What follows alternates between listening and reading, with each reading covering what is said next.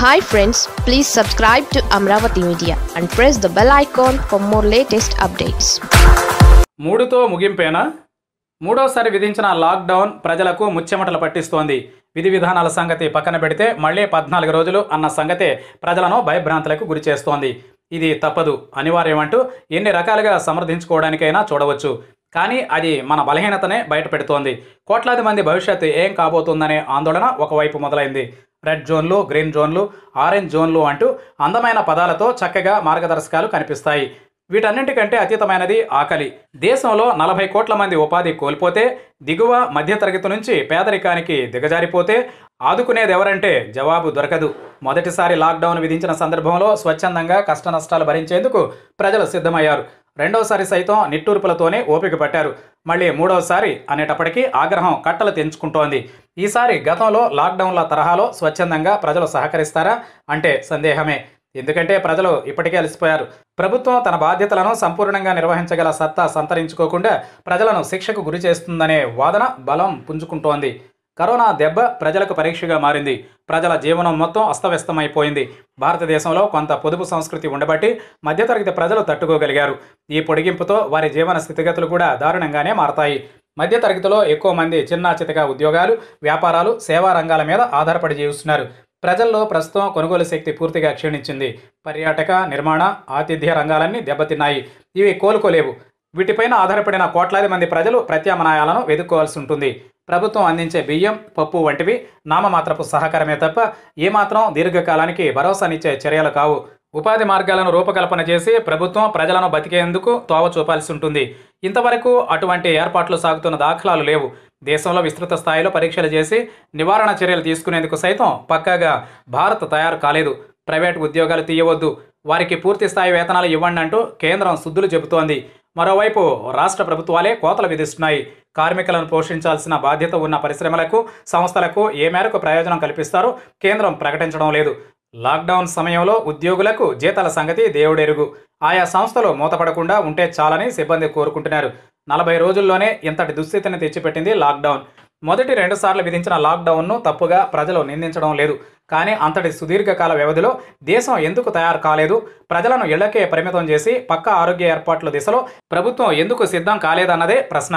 ఇంతవరకు కేసుల సంఖ్య విజృంభించకుండా ఓ మోస్తరుగా ఉండడానికి ప్రధాన కారణం ప్రజలే తప్ప ప్రభుత్వాల ఘనత ఏమీ లేదు.